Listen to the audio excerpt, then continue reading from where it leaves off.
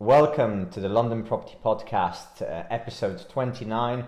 We're back uh, again. I'm here with my colleagues Jaffa and Chris, and today we're going to talk about prime, uh, the prime London market, obviously as we always kind of do, uh, and the prime UK residential market because there have been some kind of reports coming out which are very interesting it kind of also summar- summarizes a lot of the things that we've talked about previously, Yes. uh, namely lifestyle changes, which has fueled a lot of the demand in the prime markets.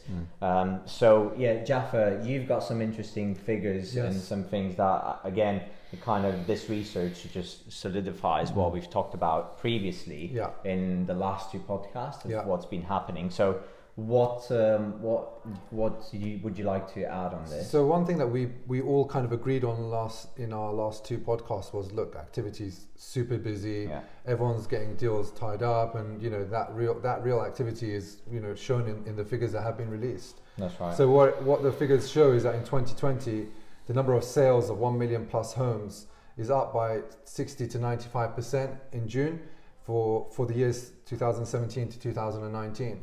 So that if you sh- you know that really shows that activity is really kind of at an all time high. Hmm. Um, and that you know I'm sure Marius you're seeing that on the ground as well. Yeah, You keep telling me how busy you know you guys Yeah. are and Yeah, you're working late hours and and you know uh, Yeah. absolutely. Yeah, I mean, tra- transaction levels have been, and I think HMRC data that came out two or Yes. three weeks ago yes yes also kind of proven that you know there's been a massive rush for a lot of people to kind of get the stamp duty, but equally in the prime markets at a million pound mark, yeah it wasn't the stamp duty fueling it. We've mentioned this time and time again. But yeah, we've been really busy in the last two months, 100%. percent Mhm. We are seeing, I think, buyer behavior change slightly now with obviously getting close to that deadline, and I think also the ease of restrictions has changed people's behavior. yes Um, so we've got obviously people being able to go back to work, which hasn't had an impact on how you know people coming out on viewings because they don't have that flexibility anymore, Mhm. um, and also people being able to go to restaurants too. I'm sure Chris has been enjoying quite a lot of the beer gardens that have opened up in the last two weeks.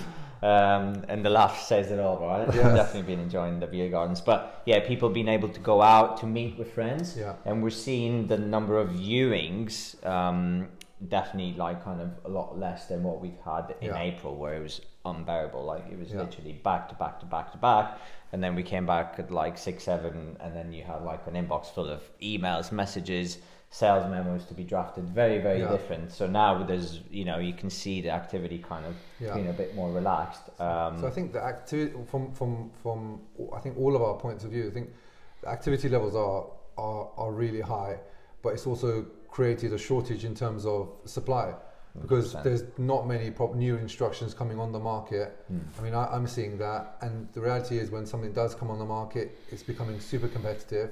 Yeah. Um, the number of things that are properties that are going to sealed bids. I'm not. Are you, are you seeing that as well? Mm. Yeah, we've, we've Yeah, I think everything in- you guys get go in- to seal in bids. April. But that's the thing, you're Yeah. right in saying stock is an issue now because Yes. we've had April where Exactly. everything that was good has gone under offer, Mm. right? And obviously that will take a month, two, three to kind of materialize in an exchange or a completion. But right now we're faced with not that much great stock, which I think does impact also the number of inquiries, you know, because uh, properties that have been sitting on the market for a while, either they're priced wrong or they don't have outside space. Those are the properties that are still on the market. Yeah. But anything that's been good, Yeah. it's already under offer.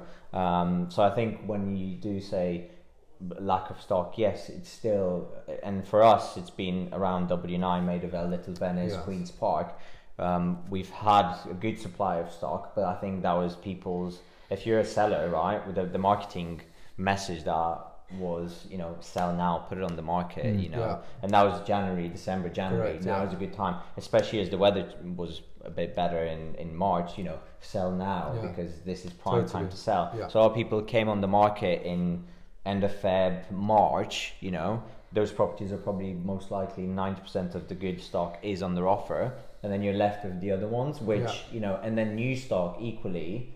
It doesn't come on as often as it used to before, and I think people have just changed their, their behavior on that. Yeah, no, I totally agree. I think, um, and- and if you speak to buyers now, they seem a lot more confident than they were before. Like I feel like confidence is really coming back to the prime central London market. I think the confidence part of thing, just driving in uh, to come here, just at the end of your road here, it's super busy. Yeah. We're in Yeah. Maida Vale. I mean, if you went back a few months, you drove around London, it felt like a ghost town. The only people that you would see is delivery drivers or builders like unloading a van. You didn't really see people around. Yeah. And to see people in coffee shops, like Mm. it, it just brings back a kind of vibrancy to the city. Yeah. I think I think it yeah. builds upon itself the confidence. I went, yes, I did go to a beer garden yesterday, and uh, it was uh, it was just it was so amazing. I mean, I just walked out. I was like, this is brilliant. Yeah. I'll do I mean, it again I, tomorrow. I, I, yeah, I'll do it again. So I, that? I need to come here more often. Yeah. It is Yeah. busy. It was, I was- very busy. Yeah. I was justifying that, yeah, to go. And yeah, there's a lot of positivity Yeah. def- definitely out there in the marketplace right now. And also at the same time, we're coming, we've had awful weather up until now. Correct. Just started to get sunny. Hopefully, a delayed summer. When the weather gets good, the positivity is here. Um, and you've also now got some good statistics coming out. Um, you were just referring to, I think, a Savills article Correct. Yeah. a second ago, and um, basically the prime central market has pretty much been kind of flat to declining for the past several years. Yeah. It's what 0.5 percent this year Yeah. increase, Yeah. but the data that these guys have put out is Hmm. three percent increase for the rema- uh, remainder of this year. Correct, Yeah. Yeah. And then next year, a big 7% jump. So, going back to what we said in the previous podcast, I think one of us, I can't remember who it was, said um, towards the end of the year, we're going to potentially see a bit of a reverse in terms of the peripheries of London will quieten down. Those have been booming. And then Yeah. prime central will pick up yeah. in line with international travel coming back. Yeah. And it's very interesting to see that um, sort of have put that in there Mm. Yeah. in there in which it hits the nail on the head with Yeah. exactly what we thought um, you know and yeah I I think- think it's very very positive Yeah. I think the easing of travel restrictions is key. and Key, that that especially is, for that prime is central London. that's to come Yeah. isn't it And it's that- not that's quite Gonna, that's going there to be a yet real like you know. Yeah. Yeah, because you've got the international market, which let's face it, it's a big chunk yeah. of prime central Definitely. London. It's the people who transact. Yeah. It's, it's very international. and in the. W2 market the Indian buyers probably make up a what 25% of Yeah. the international uh, market yeah. so Yeah, well, you know that- it's that- still it's yeah. still it's still a way off isn't it Yeah. opening it up to those parts of the the world But I think Um, those, those international buyers, if they, you know, it re- this is now the right time for the domestic buyers to kind of put their, you know, foot Yeah. forward. Look at those buy. figures and think, well, do I want to wait until that's But that's the the thing, prices go You're gonna five, get six, seven percent? cash buyers, overseas money. Yeah, Uh, it and that's what we're saying to people now. I'm saying, to, you know, what are you waiting for? You like this property. This the la- this, the supply isn't going to get Yeah. automatically overnight. It's not going to become better, and you're in the market to buy now. Now is the time to do it because you're not you don't have the international yeah, market to compete totally, with, totally. right? As soon as these guys come in, whether it's July, August, it doesn't matter. It's going to completely sh- Yes. change everything because you're going to be competing with very, very, you know, um, well, uh, Yeah. you know, rounded financially people who have very good, strong positions, usually cash buyers Yeah. if they're overseas, you know, and it's going to completely change the market. Mm. Um, so yeah, it'll, it'll be very interesting. But I do think the later part of the year, I think, is going to be phenomenally. I think so as well. strong For- for, for us- central London. For us, from in terms of our business plan, is to try and tie down as many projects as we can between Yeah. now and the end of the year, Yeah. because we really see 2022 as, as the year where the prime central London market really takes off. Uh, Yeah, I think you So- know, if you're going to make a move in terms of buying, you really should start making your moves now. yeah. because I think you know, it'll take a while to kind of trickle through anyway. But Yeah. the, your, your, we've now, you know, research also shows that we've passed the bottom of the curve. yeah. Uh, and, And it kind of shows that in the media as well. I always like looking at the media in with regards to what's happening in the property market, not because I don't know, yeah, because I want to see how the public are perceiving when they're reading Yes. the press. And now there's there's media articles out which are saying young Londoners are now drawn to the city and living in beautiful houses in Marylebone, for example, that they otherwise couldn't even dream that they Yeah. could afford. Yeah. So you know, people who can afford to be flexible, who don't have kids or whatever, who want to live in the city centre, they're getting like giant discount. And see these newspaper articles saying this, people are reading that and thinking, well, well, that's Well, it drives That's- that's- yeah, it will drive behaviour. It's insane when you think like you could buy now in Marylebone, prime Marylebone, not normal Marylebone, prime Marylebone for 1250, 1300, Yeah, you 1400. have- yeah. That's insane. You had me look at a place that you Yeah. were you were you were buying, Yeah. Yeah. and then I think you were getting that for a really good price, That but was you, like- you ended up walking Yeah, away from yeah. it just for the fact that well, It it, didn't just right it box didn't for us, tick yeah. one of the boxes. Yeah. Yeah. So um, But that just like, goes to going- show. Yeah. No, but you, yeah, like look at W two again. You know, you can pick up stuff for a thousand.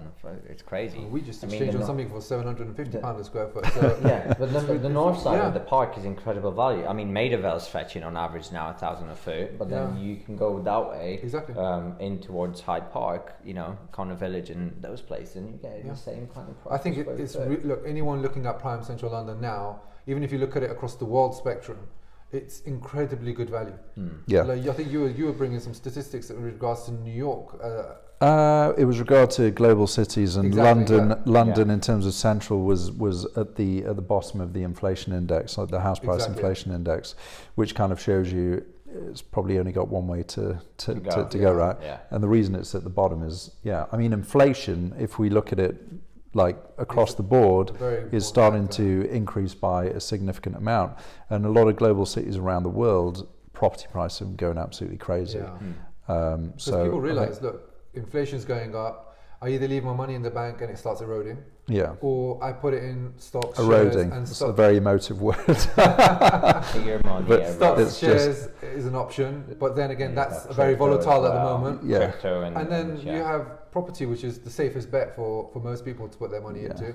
And that's another driver which will really start impacting. That Mm. together with the fact that borrowing is, you know, is very cost of borrowing is Mm. very cheap. yeah, all time Um, low. Yeah. That's it. Money is quite cheap to to borrow I think now. you've got so many positive factors when it comes to prime central London. You've got another one which is, you know, the vaccination program. yeah. We're well ahead of the curve, well ahead of the rest of the world in terms of vaccinations.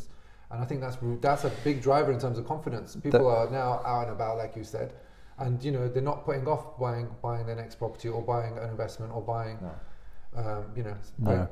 Even kind of walking out on the streets and stuff, people are less like picking up the children from school. Yeah. A few people now are not really wearing the masks as much Yeah. as they otherwise were. Like they're in the queue and they're just kind of putting them on. And before everyone arrived in the mask, yeah. you can feel like there's a sense, Yeah. and people can feel that, and Mm. yeah.